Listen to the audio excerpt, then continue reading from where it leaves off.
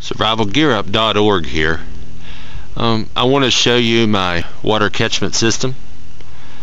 Consists of a simply a 550 gallon uh, tank. Comes from the gutter of the building, from the eaves trough. I have it plumbed in.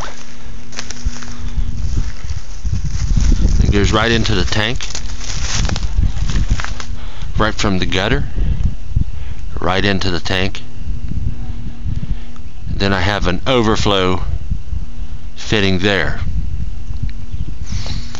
And I put a screen there, um, the overflow to keep any critters, big bugs out.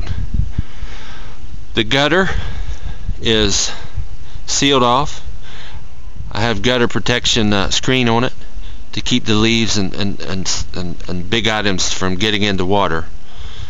Uh, the water will be used for the garden and it can also be used for any survival situation if you ever need water in any way. Here's the water valve. All I do is connect a water hose to it. Um, I have it up off the ground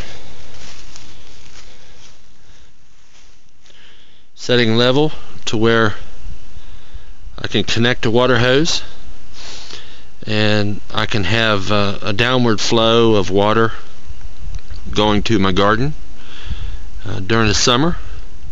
And again it can also be used for any survival situation. So I know there's a lot of these out there on the net. This is just my way of doing it. So hopefully this may help help you out in some way. You may find a better way that suits your needs. So and I, I have it strapped down right now because it, I just got it finished. It has no water in it so the, the wind could blow it away if if it doesn't have water in it. So whenever the water gets in it then I'll take the strap off. So hope you enjoyed the video. Have a great day. Thank you